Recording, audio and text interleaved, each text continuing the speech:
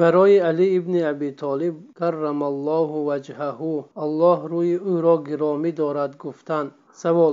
Истифодаи ибораи каррамаллоҳу ваҷҳа яъне аллоҳ рӯи ӯро гиромӣ дорад барои али ибни аби толиб разиаллоҳу анҳу чӣ ҳукме дорад оё ӯ дар ин маврид аз дигар саҳобагон бартарӣ дорад?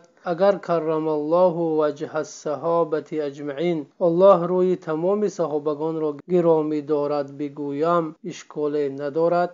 Ҷавоб ҳамду сано ба парвардигор тахсис намудани али ибни аби толиб разиаллоҳу анҳу бо дуои каррамаллоҳу ваҷҳа яъне аллоҳ рӯи ӯро гиромӣ дорад аз амалкарди рофизиёни ғулӯфкунанда дар ҳаққи алӣ разиаллоҳу анҳу аст бар аҳли суннат воҷиб аст ки аз тақлид намудани онҳо дар ин амр дурӣ ҷӯянд ва али ибни аби толиб разиаллоҳу анҳуро бо ин дуо ва истиснои дигар бародаронаш аз саҳобагон мисли абубакр умар усмон разиаллоҳу анҳум ва дигарон тахсис надиҳанд.